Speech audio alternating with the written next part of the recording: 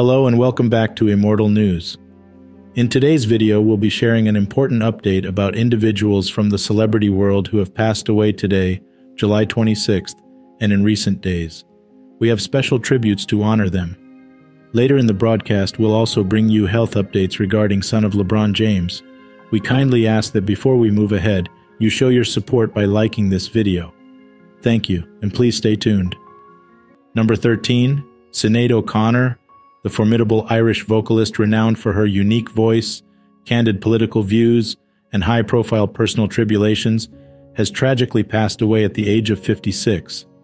Best known for her chart topping hit, Nothing Compares to You, during the dawn of the 90s, O'Connor's demise was formally announced by her close kin. Specific details about her passing, including the date and cause of death, have yet to be disclosed. The late 80s bore witness to O'Connor's rise in the music world, a time when the alternative radio was reverberating with the sounds of fearless female vocalists challenging the norms. O'Connor's debut album, The Lion and the Cobra, released in 1987, turned heads not only for its memorable album cover featuring her shaven head and assertive stance, but also for the raw expression of faith, might, and resilience in her music. O'Connor's tough upbringing, marked by abuse, molded a resilience within her that was visible in her music. She disclosed in a 2014 NPR interview that her singing career was kindled in a shelter for juvenile delinquents in the back alleys of Dublin, thanks to a kindly nun who presented her with a guitar. Her undeniable talent was noticed by U2's guitarist, The Edge, which led to her signing with the Ensign Chrysalis label.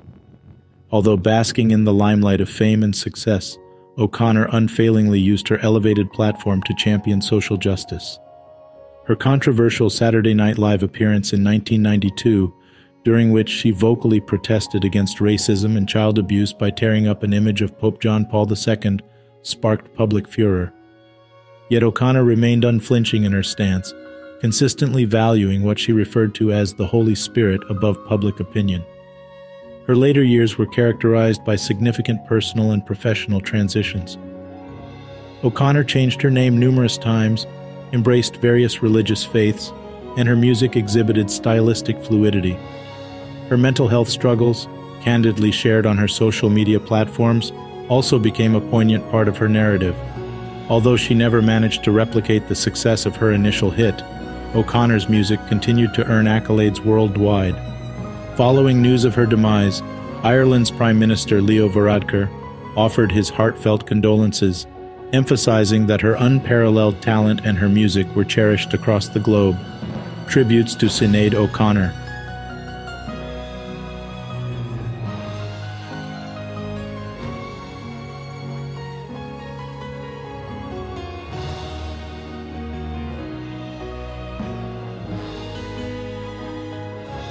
Number 12, Alfonso Iturralde, A Remarkable Journey in the Entertainment Industry. Alfonso Iturralde, an iconic figure, passed away at the age of 73 on July 25th. Iturralde was widely recognized for his villainous role in the telenovela Marimar. The National Association of Interpreters of Mexico confirmed his passing and mourned this significant loss.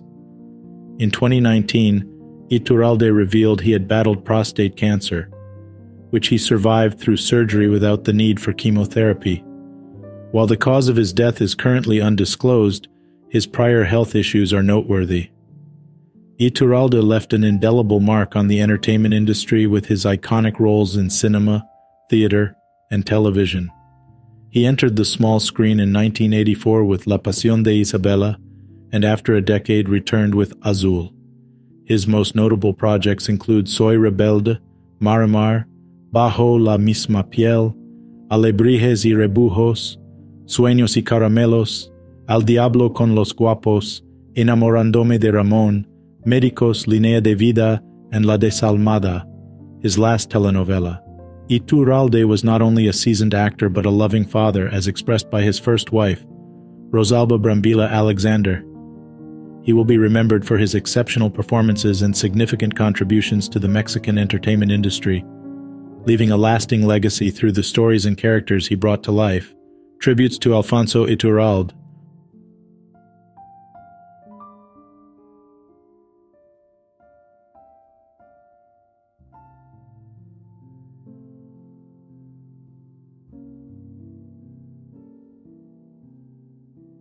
Number 11. Rocky Wirtz, a legacy marked by redemption and controversy in the NHL. Rocky Wirtz, the esteemed owner of the Chicago Blackhawks who resurrected the team's legacy, passed away on July 25th at the age of 70. His sudden demise has left the NHL community in mourning. Born into the Wirtz family that has owned the Blackhawks since 1954, Rocky assumed ownership after his father, William Wirtz, passed away in 2007. Under Rocky's stewardship, the Blackhawks underwent a radical transformation winning the Stanley Cup three times in 2010, 2013, and 2015, ending years of limited success.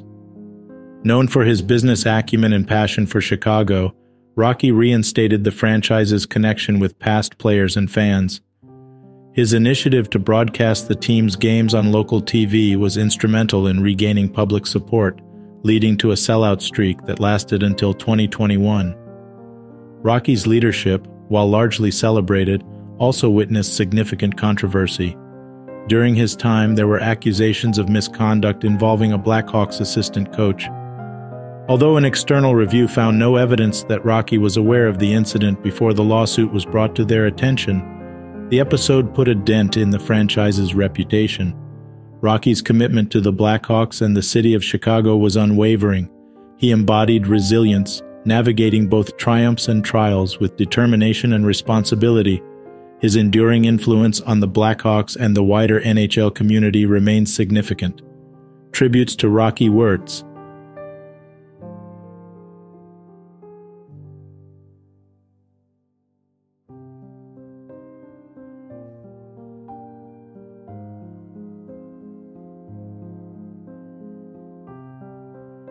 Number 10. Surinder Shinda, the grandfather of Amosi and legendary icon of Punjabi music. Surinder Pal Dhami, widely recognized as Surinder Shinda, the legendary figure of Punjabi music, passed away on July 26 at the age of 70. Born on May 20, 1953, in Choti Ayali village, Ludhiana district, Punjab, Shinda's melodious voice made him an enduring fixture in Punjabi music, leading to his celebrated nickname, the grandfather of Mach. Shinda gave Punjabi music several unforgettable hits like Jat Jiona More, Put Jatande, Truck Bilia, Balbiro Babi, and Kaher Singh Dimaut. He left an indelible mark not only through his songs, but also through his appearances in Punjabi films such as Put Jatande and Ucha Dar Babe Nanak Da. Known for his collaboration with Kuldeep Manak and his unique Kali singing style, his song Jiona More stands as a cornerstone in Punjabi music history. Beyond his singing, Shinda was a mentor to many, teaching music to artists like the late Amar Singh Chamkila and Gill Hardeep. He also ventured into production, nurturing young talents while continuing to delight fans with songs like Hey Miss Bolian. In 2013, Shinda's immeasurable contributions to music were recognized with a Lifetime Achievement Award at the Brit Asia TV Music Awards. His impact on Punjabi music is profound, and his legacy will continue to inspire future generations. Tributes to Surinder Shinda,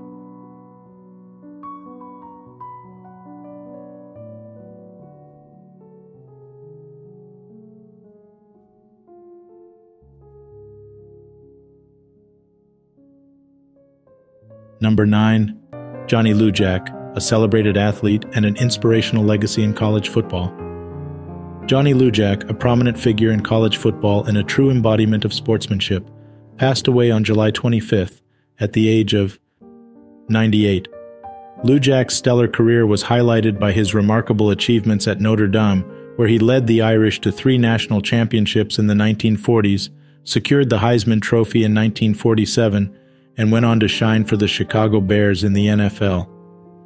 Born on January 4, 1925, in Connellsville, Pennsylvania, Lujack was celebrated for his all around skills as an outstanding passer, a proficient runner, a brilliant defensive halfback, a place kicker, and an occasional punter. He was honored as a two time All American and had the distinctive record of playing in only one losing football game at Notre Dame. Beyond football, Lujack's athletic prowess extended to baseball, basketball, and track. He was honored by his induction into the College Football Hall of Fame in 1960 and was recognized as the oldest living winner of the Heisman. His contribution to the sport was greatly recognized by fans and peers alike. In the NFL, Lujack led the league in pass completions, yards passing, and touchdown passes in 1949. After four pro seasons, he retired to become a backfield coach at Notre Dame, further contributing to the sport he loved. Lujack's memory and legacy remain woven into the history of Notre Dame. His outstanding career is a testament to his extraordinary talent, tenacity, and dedication to the sport. He is survived by his daughter Mary Lujack, a son Jeff, his grandson Grant Pullman, who confirmed his death, four other grandchildren, and eight great grandchildren. His wife Patricia Lujack and his daughter Carol Lujack preceded him in death. His enduring legacy serves as an inspiration to young athletes and football enthusiasts worldwide. Tributes to Johnny Lujack.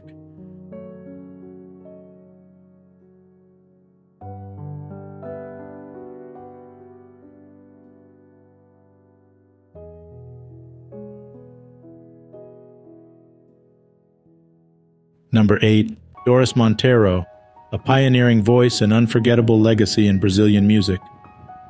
Doris Monteiro, a luminary in the realm of Brazilian music, died at her home in Rio de Janeiro from natural causes on July 24th. She was 88 years old. Born Adelina Doris Monteiro, her career spanned over seven decades, during which she left an indelible mark on the country's music landscape. Monteiro started singing professionally in the late 1940s and rose to prominence in the 1950s as one of Brazil's leading female voices. She recorded her first album in 1951 and quickly became a household name, earning the title Rainha dos Cadetes in 1952. With 15 records to her name by 1956, she was celebrated for her soft, distinctive voice that shone brightly among her contemporaries. Beyond music, Monteiro also made her mark in cinema, acting in at least 10 films alongside renowned names like Mazzaropi, Jose Lewgoy, and Tonia Carrero. Her musical contributions spanned various genres, from the bossa nova to samba, often collaborating with eminent artists such as Roberto Menescal, Ronaldo Boscoli, Carlos Lyra, and Vinicius de Moraes. Monteiro's enduring appeal and innovative contributions made her a symbol of modernity in Brazilian music. Her distinct voice and timeless songs will continue to inspire future generations of musicians. Her legacy is one of dedication, talent, and a deep love for music. Tributes to Doris Monteiro.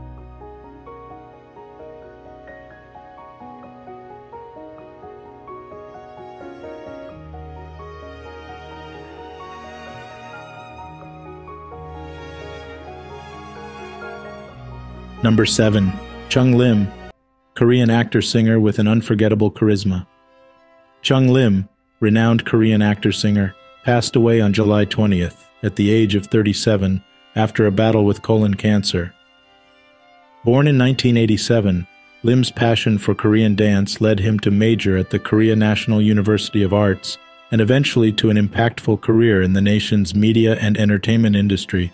Lim first gained popularity for his role in the popular K drama I'm Sorry I Love You in 2004, where his charisma and talent quickly left an indelible mark.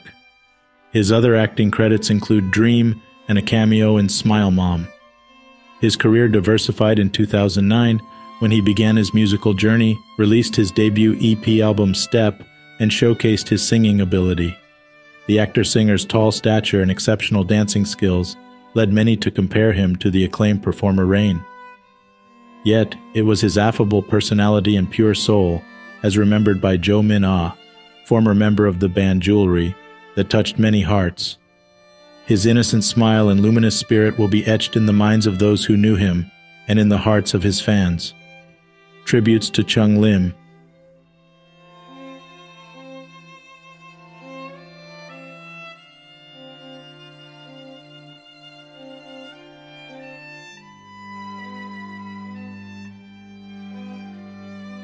Number 6. Yilmaz Gruda, a prolific visionary in Turkish arts and literature. Yilmaz Gruda, an accomplished Turkish actor, poet, playwright, and translator, passed away on July 25th at the age of 93, leaving a profound legacy in the field of arts and literature. Gruda's illustrious career spanned decades in multiple disciplines, A graduate of Ankara Commerce High School, he initially worked as a government officer. He burst onto the literary scene in the 1950s when his poems were published in various journals. Not content with a single artistic pursuit, he turned his talents to acting, working in celebrated institutions such as the TEP Theatre, Kukuk Theatre, Ankara Meydan Stage, and the Nisa Serezli acting community. His influence on Turkish theater was significant, blending elements of traditional Turkish theater with Anton Chekhov's influence. In collaboration with Attila İlhan, Gruda spearheaded the Blue movement in Turkish poetry. This passion for words was mirrored in his prolific publication record, which includes poems, plays, and translations. His multifaceted contributions earned him multiple accolades, including the esteemed Cumhuriyet Yunus Nadi Award in 2003 and the Behçet Aysan Poetry Award in 1999.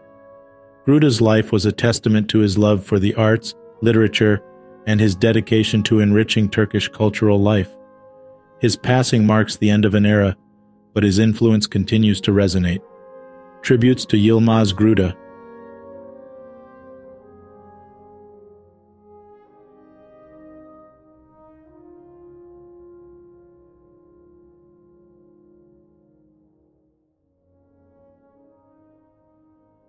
Number 5. Howard Adelman, a trailblazer in philosophy and refugee studies. Howard Adelman, Canadian philosopher and professor emeritus at York University, passed away on July 23 at the age of 85. Born on January 7, 1938, in Toronto, Adelman was an acclaimed intellectual and humanitarian, celebrated for his extensive work in applied philosophy, refugee studies, and the Middle East. Adelman was a key founder of Rochdale College and the Center for Refugee Studies at York University, where he served as director from 1988 to 1993. As the editor of Refuge for 10 years, he significantly contributed to discussions surrounding refugees in Canada. Throughout his career, Adelman held numerous leadership roles, including acting dean of Atkinson College, chair of York University's Department of Philosophy, and director of the Refugee Documentation Project. In 2008, York University acknowledged Adelman's profound impact by initiating an annual lecture series in his name. Even in retirement, Adelman's dedication to scholarship remained undiminished. He served as a visiting professor at Princeton University's Woodrow Wilson School and a senior research fellow at Griffith University's Key Center for Ethics, Law, Justice, and Governance in Australia. His scholarly contribution includes over 23 books and numerous articles, papers, and reports on diverse subjects, from the Middle East to humanitarian intervention, refugee repatriation, and conflict management. Adelman's work has been instrumental in shaping global understanding and response to refugee crises and genocide. For his incredible service to academia and humanity, Adelman was named a member of the Order of Canada in 2016. His enduring legacy lies in the multitude of lives touched by his work and his unfaltering commitment to social justice. Tributes to Howard Adelman.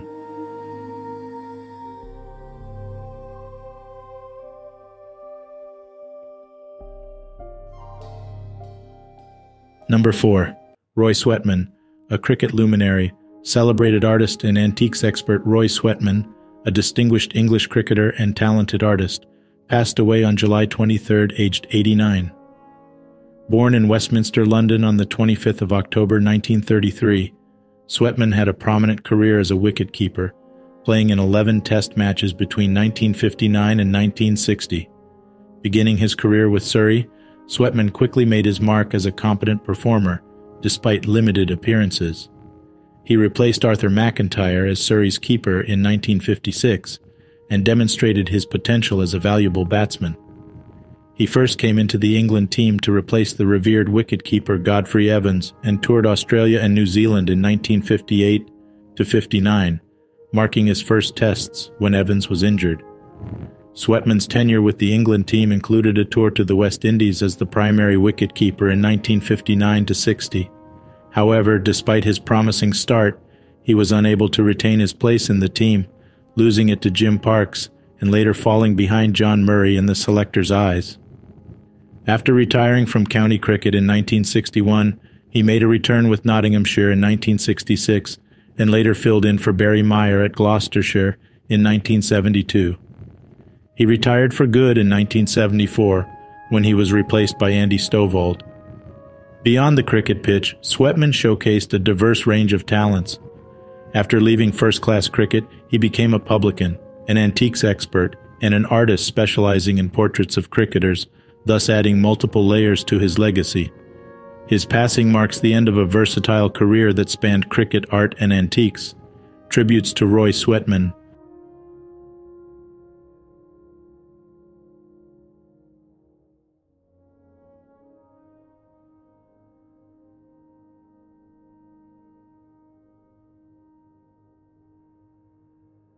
Number 3.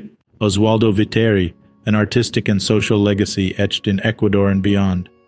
Oswaldo Viteri, the celebrated painter, muralist, sculptor, and architect whose work has left an indelible imprint on Ecuador and the world, passed away at the age of 91 on July 24th. Born in Ambato in 1931, Viteri was recognized nationally and internationally as a leading figure in Ecuadorian visual art of the second half of the 20th century. Viteri's trajectory spanned diverse techniques, including assemblage, drawing, engraving, and mosaics. His first individual exhibition in 1957 marked the start of an illustrious career. Viteri was known for his exploration and experimentation with new techniques and mediums. His iconic assemblages incorporating symbolic objects like rag dolls and elements of popular culture gained him accolades, including the Order of Isabella the Catholic in 2010. Viteri's work was showcased in prestigious museums and galleries worldwide, ensuring the immortalization of his artistic vision.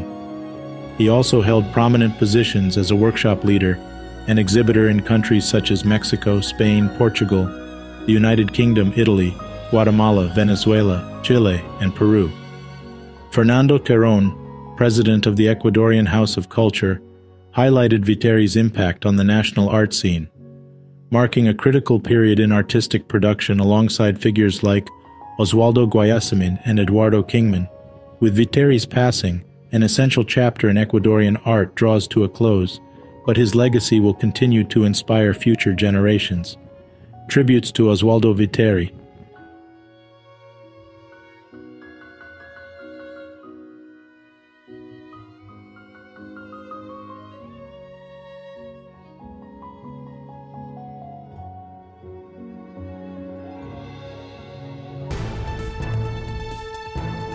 We now transition to trending health update about the son of LeBron James. Bronny James recovers from cardiac arrest incident at USC practice.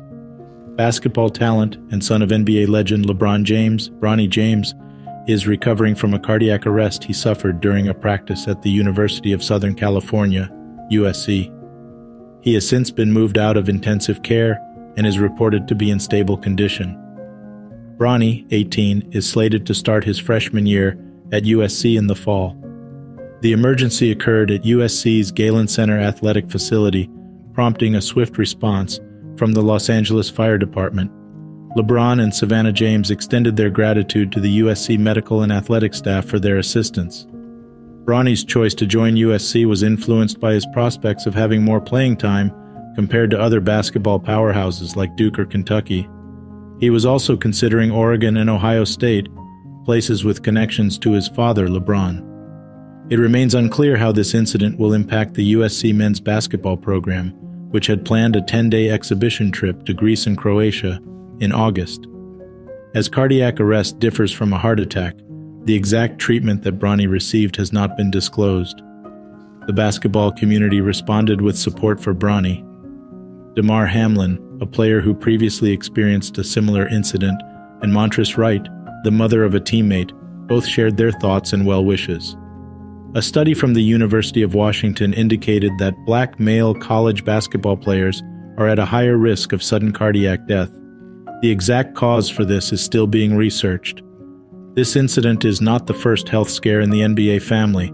Shareef O'Neal, son of Shaquille O'Neal, had open heart surgery in 2018. The addition of Bronny to the USC team, coupled with his 7.5 million Instagram followers, was expected to bring significant attention to the basketball program. Coaches recognize him as a player with a high basketball IQ. He was expected to be a contributor, not a star, to a team with Final Four aspirations. The Trojans team is also looking forward to the performances of other key players like Isaiah Collier, Boogie Ellis, Joshua Morgan, and Kobe Johnson. As for Bronny's father, LeBron, he has expressed a desire to play alongside his son in the NBA. After this season, Bronny will be eligible for the NBA draft. Meanwhile, LeBron continues to excel in his 20th NBA season, recently surpassing Kareem Abdul Jabbar as the NBA's all time leading scorer now it's time to remember the legends who passed away in the past years. Number 2, Joey Jordison, a transformative force in heavy metal music. Joey Jordison, the former drummer and founding member of the iconic U.S. heavy metal band Slipknot, died at the age of 46 on July 26, 2021. His family announced his peaceful passing in his sleep, leaving them with empty hearts and feelings of indescribable sorrow. The cause of death has not been revealed, Born Nathan Jonas Jordison in 1975 in Des Moines, Iowa, Jordison formed Slipknot in 1995 alongside percussionist Shawn Crahan and bassist Paul Gray. The band, known for its aggressive music style and horror style performance masks, released a successful self titled debut album in 1999, which paved the way for global album sales in the millions, mainstream US chart success, and a Grammy Award. Jordison remained with the band until 2013, later revealing that he left due to a diagnosis of transverse myelitis, an inflammation of the spinal cord. However, his contributions to the band remained unparalleled, and his impact on the heavy metal scene has been recognized by his peers. Alongside his work with Slipknot, Jordison played in several other bands, including Murderdolls, and performed with renowned acts like Metallica, Korn, and Rob Zombie. Colleagues and fans alike paid tribute to Jordison, celebrating his talent and acknowledging his significant influence on the heavy music scene. His contribution has left a lasting legacy in the world of music, especially within the heavy metal genre, as he transformed drumming into metal music, inspiring countless others. Tributes to Joey Jordison,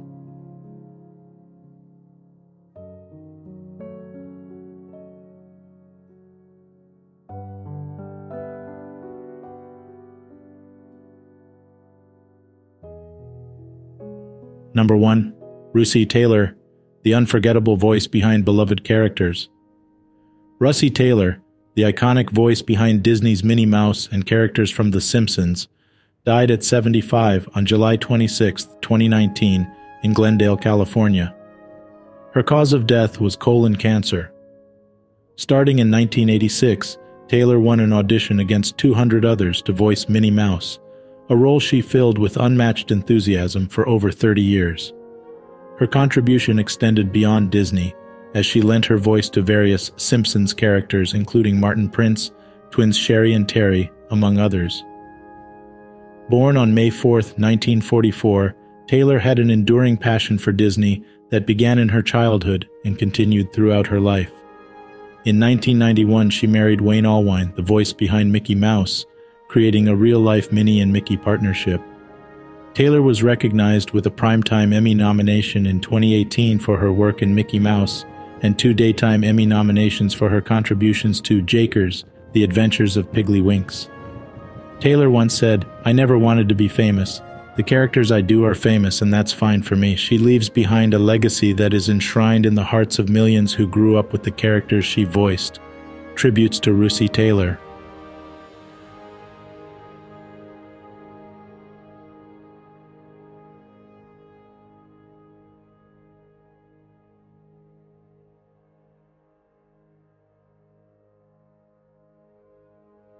We kindly ask you to honor the lives of these remarkable individuals by showing your support and appreciation. Please like this video and continue watching as we pay respect to the legacies they've left behind.